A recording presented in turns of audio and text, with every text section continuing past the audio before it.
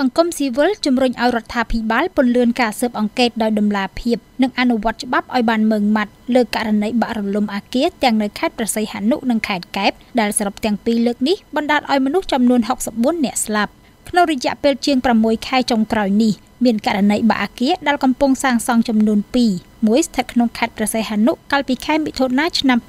2019បណ្ដាលឲ្យមនុស្សចំនួន28នាក់ស្លាប់និង26នាក់រងរបួស ករណីបាក់អាគារនៅខេត្តកែបកាលពីថ្ងៃសុក្របានបណ្ដាលឲ្យមនុស្សចំនួន36នាក់ស្លាប់និង23នាក់រងរបួសលោកសុកគិនប្រធានសហព័ន្ធសហជីពកម្មករសំណង់និងប្រៃឈើប្រាប់ VOA ថាអាញាធរគឺជាអ្នកមានសមត្ថកិច្ចក្នុងការត្រួតពិនិត្យលើការសាងសង់ហើយអនុវត្តច្បាប់លើករណីមិនប្រក្រតីណាមួយលោកបន្តថារដ្ឋាភិបាលត្រូវធានាថាការត្រួតពិនិត្យគុណភាពអគារត្រូវធ្វើឡើងឲ្យបានត្រឹមត្រូវនិងហ្មត់ចត់បើសិនបើ គុណភាពនឹងវាមិនតាមស្តង់ដារទេហេតុអីបានឈានទៅដល់សាងសង់រហូតដល់6ប្រជាន់ឥឡូវយើងយើងពាក្យទូយើងអញ្ចឹងណាខ្ញុំរៀនចោលទៅភាគីណាថាពុកអលួយឬពុកអលួយទេព្រោះយើងវិភាគនៅខាងក្រៅគឺយើងទៀតអញ្ចឹងណា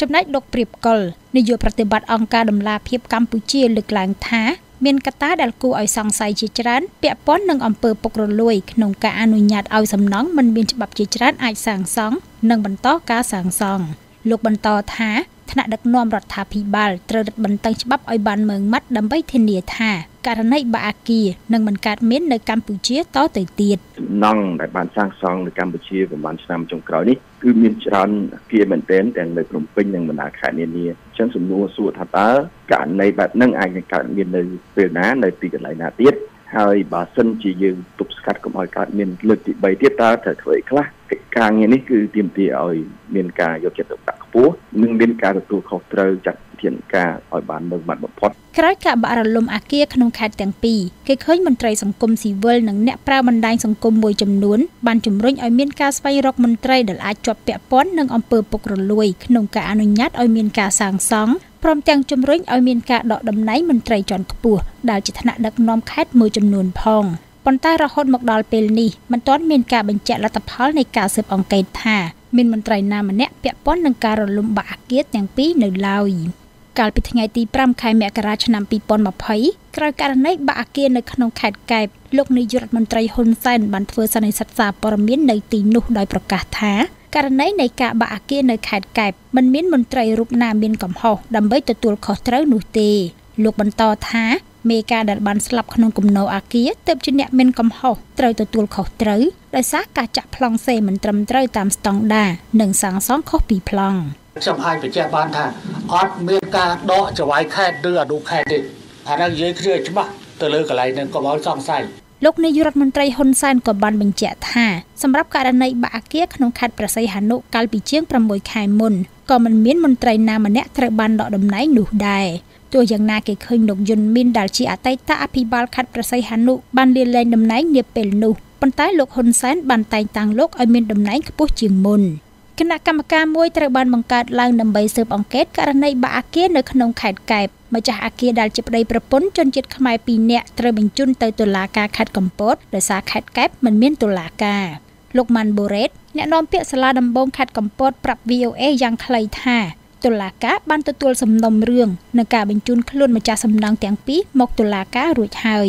ចំណែកការបាក់អាគារនៅខេត្តប្រស័យហនុមិនទាន់មានការបង្ហាញលទ្ធផលនៃការស៊ើបអង្កេតនៅឡើយរហូតមកដល់ពេលនេះលោកឡៃទឹកសីហាប្រធានគណៈកម្មការត្រួតពិនិត្យគុណភាពសំណង់នៅខេត្តប្រស័យហនុទទួលទូរស័ព្ទរបស់ VOA តែលោកនិយាយថាស្ដាប់មិនបានជាច្រើនដងចំណែកលោកសេងលូតអ្នកនាំពាក្យក្រសួងដែនដីនគររូបនីយកម្មនិងសំណង់ប្រាប់ VOA នៅព្រឹកថ្ងៃច័ន្ទនេះថា ក្រសួងកំពុងបើកកិច្ចប្រជុំសំខាន់ពាក់ព័ន្ធនឹងការស៊ើបអង្កេតលើករណីបាក់អាគារនៅខេត្តប្រស័យហនុនេះប៉ុន្តែលោកថាឲ្យរងចាំមើលការផ្សាយលើទំព័រ Facebook របស់ក្រសួង។ ករណីបាក់អាគារនៅខេត្តប្រស័យហនុដែលមានម្ចាស់ជាជនជាតិចិនសមត្ថកិច្ចបានឃាត់ខ្លួនជនជាតិចិនចំនួន4នាក់ដែលម្នាក់ជាវិនិយោគិនលើគម្រោងអាគារដែលបានបាក់រលំម្នាក់ជាថៅកែម៉ៅការសំណង់ម្នាក់ជាអ្នកមើលការខុសត្រូវក្នុងការដ្ឋាននិងម្នាក់ទៀតជាជាងសំណង់ដោយចោទប្រកាន់ពីបទល្មើសផ្សេងផ្សេងគ្នា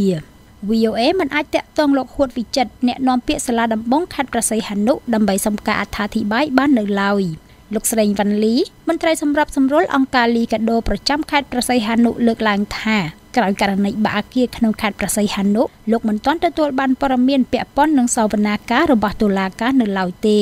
លោកបន្តថាសម្រាប់ការស៊ើបអង្កេតរបស់គណៈកម្មការក្រសួងលើការបាក់អគារក៏មិនទាន់ទទួលបានព័ត៌មានអ្វីនៅឡើយ លោកព្រៀបកលនៃអង្គការដំឡាភិបកម្ពុជាមានប្រសាសន៍ថាការស៊ើបអង្កេតលើករណីបាក់រលំអគារនៅខេត្តប្រស័យហនុរហូតដល់ទៅជាង6ខែតែមិនទាន់មានលទ្ធផលគឺជាការអូសបន្លាយរយៈពេលយូរខ្លាំងដែលលោកថាអាញាធរគោពន្លឿនការដោះស្រាយដើម្បីផ្ដល់យុត្តិធម៌ដល់ជនរងគ្រោះនិងស្វែងរកការពិតដើម្បីចាត់វិធានការលើមន្ត្រីពាក់ព័ន្ធនិងទប់ស្កាត់ករណីសំណងឥតច្បាប់ផ្សេងទៀត កាលពីចុងខែធ្នូឆ្នាំ2019លោកជាសុផារ៉ារដ្ឋមន្ត្រីក្រសួងដែនដីនគររូបនីយកម្មនិងសំណង់ថ្លែងថាក្នុងខេត្តប្រស័យហនុនិងខេត្តបន្ទាយមានជ័យមានសំណង់ឥតច្បាប់ច្រើនជាងសំណង់មានច្បាប់ទោះយ៉ាងណាលោកមិនបានបញ្ជាក់ថាតើសំណង់ទាំងនោះមានចំនួនប៉ុន្មាននោះទេប៉ុន្តែលោកបានប្រកាសថានឹងចាត់វិធានការផ្លូវច្បាប់លើម្ចាស់សំណង់ឥតច្បាប់ទាំងនោះគួរឲ្យខ្មាស់អៀនសំណង់នៅខេត្តបស៊ីនុខេត្តបទីមានជ័យសំណង់មានច្បាប់តិច